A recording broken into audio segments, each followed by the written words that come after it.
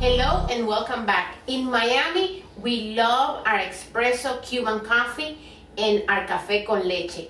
Today, I'm gonna be making flan de café or espresso flan. And you know what? It's just like café con leche in solid form, bathed in caramel. What can be better? The first thing we need to do is the caramel. In my pot, I'm cooking one and a half cups of sugar, with about a quarter of a cup of water. We need to melt this sugar until it becomes caramel. Now, do not stir the sugar or it's gonna crystallize and you want a smooth caramel. So be patient. You can move the pot a little bit, but don't stir. Remember, medium high. The sugar has been cooking for about eight minutes. As you can see, it already turned a yellow caramel color. As soon as that happens, you can transfer it to your mold. Don't wait too long, otherwise it will turn bitter. It will turn a bitter flavor instead of a sweet flavor. You see how it is? It's yellow, golden, beautiful golden yellow caramel color. Now let it sit there and we're gonna start working on the custard for the flan. Now we need to prepare the flan custard. And here I have six whole eggs and they're large by the way. We need to mix them well. To these I'm gonna add a can of sweet condensed milk. The whole can. This is what is gonna sweeten this custard or this flan.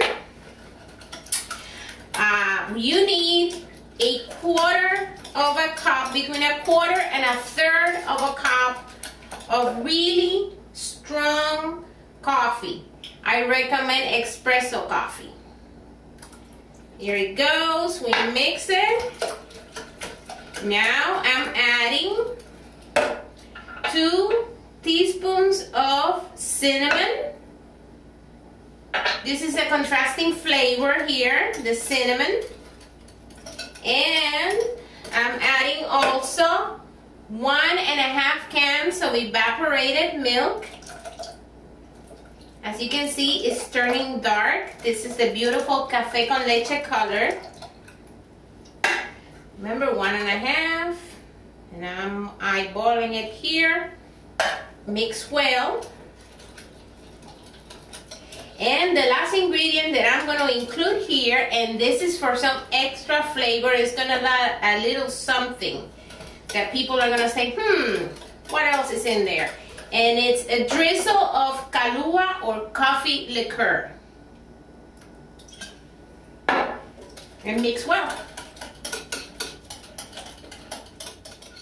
The last ingredient that I want to add here is a little bit of salt. I'm eyeballing it, just a tiny little bit, a pinch of salt. And why? That is to balance all the flavors. Now I'm gonna pour it in my mold or my tin. As you can see, there's speckles there, and that is the cinnamon, which is just fine. Now I'm gonna bake it or cook it in my oven at 350 degrees in un baño de Maria or bain marie. 350 degrees, but about an hour and an hour or an hour and 15 minutes. After the flan comes out of the oven, let it cool down and then refrigerate for at least 8 hours, although overnight is even better. If you like the exotic flavor of coffee, this recipe is gonna be one of your favorite. Now don't forget to subscribe to my channel. See you next time in my Miami.